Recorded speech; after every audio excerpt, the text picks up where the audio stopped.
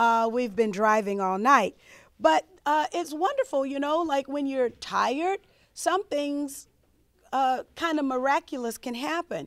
And so uh, we're sitting in the car and uh, rolling down the interstate, and uh, James Taylor is on. And the song, you have to pardon me because I don't have my glasses. And the song is Don't Let Me Be Lonely Tonight. And of course, yes, it's a wonderful song. But um, I, uh, I found something in this, and, and I hope that, that you will uh, bear with me. But the, the, the, the lyrics are uh, Do me wrong, do me right. Tell me lies, but hold me tight. Save your goodbyes for the morning light, but don't let me be lonely tonight. Say goodbye and say hello. Show enough good to see you, but it's time to go. Don't say yes, but please don't say no. I don't want to be lonely tonight.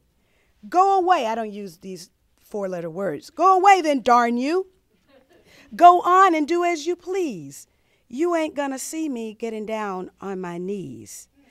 Undecided, and your heart's been divided.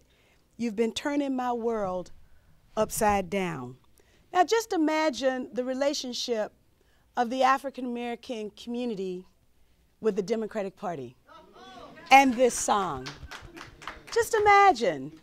And so basically, and this is all just as unthought but but very deeply felt, is that we have a community that's engaged in a relationship where they know.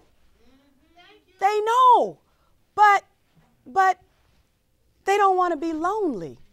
They don't want to be left out on a limb all by themselves. And so it's easier to find comfort in something that even abuses you than to step out on your own and bear the consequences of being alone. And so,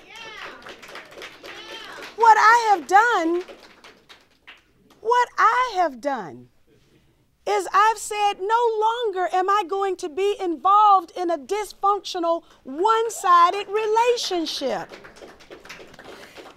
How can I cl- declare that the relationship is dysfunctional?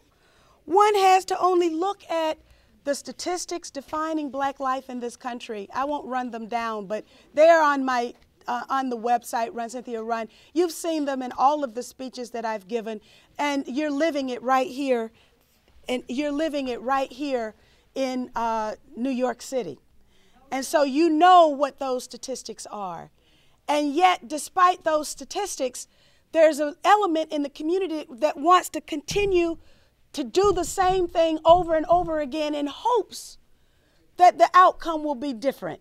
Now, I have a friend who's the, the, the leader of CEMOTAP, he's a psychiatrist. And I wanted to ask him Tell me what the psychological uh, basis is for expecting something different when you're doing the same thing. So, at any rate, the, the question was about the black left. I think the deeper question is the relationship of, of the black community with a party that has done nothing, even in, down to including protecting the right to vote and to have their votes counted of people who voted in 2000, again in 2004. So uh, there's a lot that needs to be fleshed out of these original little thoughts about don't let me be lonely tonight.